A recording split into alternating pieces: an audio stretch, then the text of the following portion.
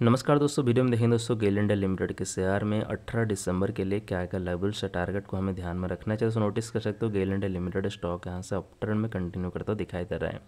साथ साथ एक और कंडीशन को भी देख सकते हैं कि स्टॉक यहाँ से अपना ट्रेलाइन को सपोर्ट लेके हायर हाई बना के ऊपर बढ़ता हुआ दिखाई दे रहा है। दोस्तों, गेल इंडिया लिमिटेड के शेयर में अगर हम बात करें कि नियरेस्ट में क्या क्या लेवल्स है, क्या क्या टारगेट को हमें ध्यान में रखना चाहिए तो आपको दिखाई दे रहा है दोस्तों, ये रहेगा आपके लेकर रेजिस्टेंस लाइन जो कि 149 पे है। सपोर्ट लाइन दोस्तों, आपको दिखाई दे रहा है 144.65 में और एक रहेगा 138.45 में।